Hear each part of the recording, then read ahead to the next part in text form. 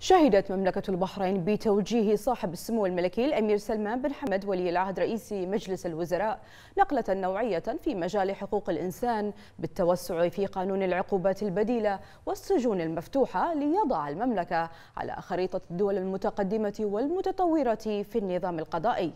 للحديث أكثر ينضم معنا عبر الهاتف المستشار الدكتور مالال الحمادي عضو مجلس مفوضية المؤسسة الوطنية لحقوق الإنسان ورئيس لجنة زيارة أماكن الاحتجاز والمرافق. سعادة المستشار أهلا بك في نشرة الثالثة. إن توجيه صاحب السمو الملكي الأمير سلمان بن حمد الخليفة ولي العهد رئيس مجلس الوزراء هو انعكاس لجوهر الدولة القانونية والفكر الإنساني والحضاري في المملكة. ما هي فلسفة قانون العقوبات البديلة والسجون المفتوحة؟ السلام عليكم ورحمة الله.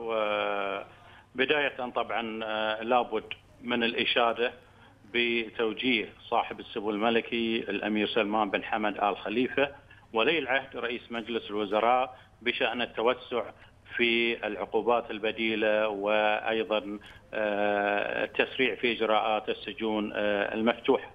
وهذا بلا شك طبعا يعكس ما وصلت له مملكة البحرين وما تتمتع به القيادة من البعد الإنساني في مجال حقوق الإنسان بصفة عامة. نعم. طبعا إحنا عارفين والقانونيين أيضا يعلمون جيدا بأن غرض العقوبة أو هدف العقوبة تحقيق الردع العام والردع الخاص. ولكن طبعا بالإضافة إلى إلى ذلك هناك غايه هامه جدا وهي تتعلق بتأهيل وإصلاح المحكوم عليه وإعادة إدماجه في المجتمع وهذا الأمر بلا شك يعتبر من أهم وسائل الوقاية من العودة إلى الإجرام. لذلك يعني أنا أرى بأن فلسفة قانون العقوبات البديلة والسجون المفتوحه تنشأ أو تقوم على المغايرة في طرق ووسائل المعاملة العقابية. واهمها وأهمها طبعا إصلاح وتأهيل المحكومين من خلال تنفيذ الجزاء الجزاء الجنائي بطريقة فيها وسائل التهذيب والعلاج والإصلاح والتأهيل بحيث يمكن من خلال هذه الوسائل إعادة إدماج المحكوم عليه في المجتمع ومن ثم تكيف بطبيعة الحال مع هذا المجتمع وعدم عودته للإجرام مستقبلا.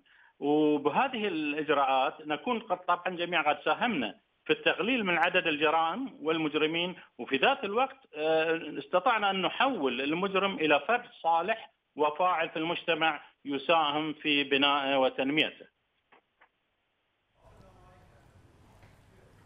نعم المستشار الدكتور مال الله حمادي عضو مجلس مفوضي المؤسسة الوطنية لحقوق الإنسان ورئيس لجنة زيارة أماكن الاحتجاز والمرافق.